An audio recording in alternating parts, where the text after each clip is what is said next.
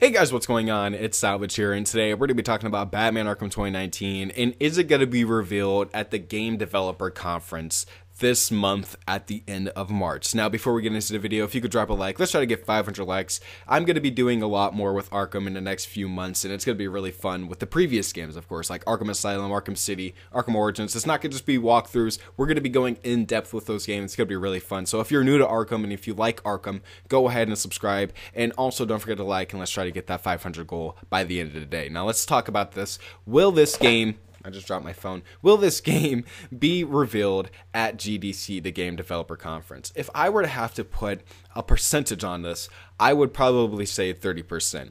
Not only is a game developer conference really not the place to do it, it's not somewhere that's really known for reveals. Like GDC is never really known for reveals or announcements, at least from what I know. It's really just for people who are really into video games that want to know more about video game development and that's where they go to see it.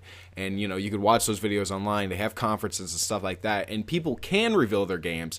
But for this particular game for batman arkham game i don't think that this type of conference is the place to do it. It's not big scale it's not huge. If i'm going to have to put money on it if i'm going to have to put a prediction about when i think that this game is going to be revealed i believe that they're going to be following the batman arkham origins platform the batman arkham origins pattern almost to a T, where it's uh, you know it's announced on April 6th, and then it is uh, officially revealed with not only the plot but also a trailer in May. That can happen. I believe that can happen, but I believe that the first few weeks of April we're definitely going to be getting a full-on announcement of this game's title and also of the, the semi-plot. Not really, but like we're going to see who the villain is of the front cover because I think that we're going to be getting a May Game Informer cover.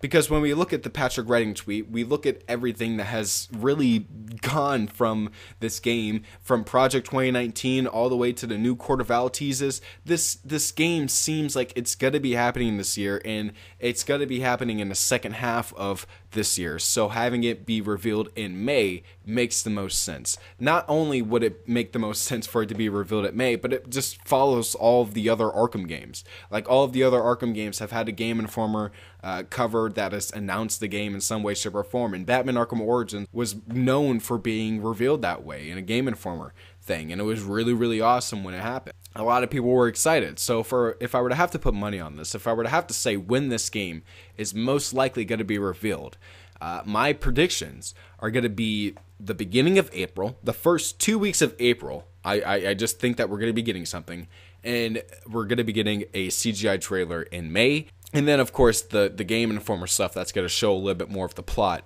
uh, and stuff like that. That's just my predictions. I think that that's like something that's definitely going to be happening. And then E3 gameplay, and then in October or f- somewhere in fall release date. You know, all of that just makes the most sense. A GDC thing, uh, I, I can already I already see people saying, "Oh my God, it, it could be happening," and you see people uh, typing underneath the developers' tweets about GDC, and you know they seem excited about it, but it doesn't seem it doesn't seem like the excitement of like you know revealing something that's as massive as a AAA Batman game. Uh, clearly, they're going to be showing something this year. It, it, the teases and hints have not been for nothing.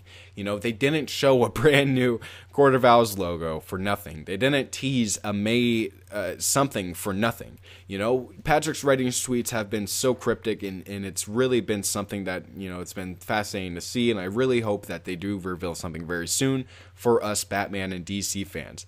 Either way, I'm really confident this year. I really think that we're going to be getting something next month in April. So that's all I got to say. Tell me what you guys think in the comments below. Don't forget to like, comment, subscribe for more videos about Arkham in the future and to stay up to date with WB Montreal's next video game. And I will see you guys in my next video. Peace out.